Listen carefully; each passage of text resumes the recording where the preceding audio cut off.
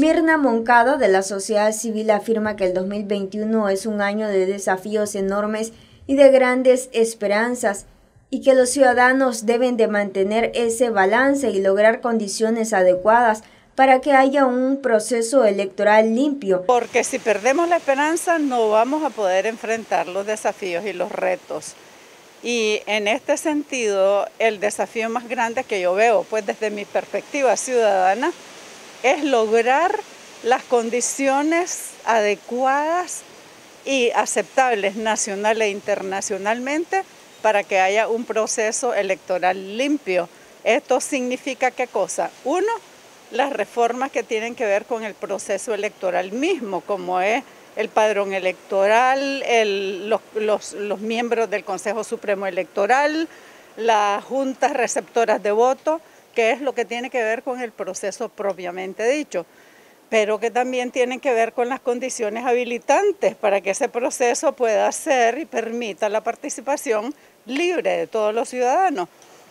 Uno, liberación de presos políticos. Dos, lo que ya se ha repetido hasta la saciedad.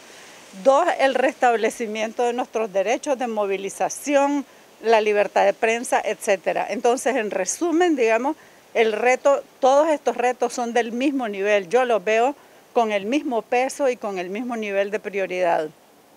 Otro reto fundamental es la unidad. Tenemos dos años de estar clamando por una unidad que puede ser, pues parece que a veces que las puertas se cierran, pero también hay posibilidades de lograrla.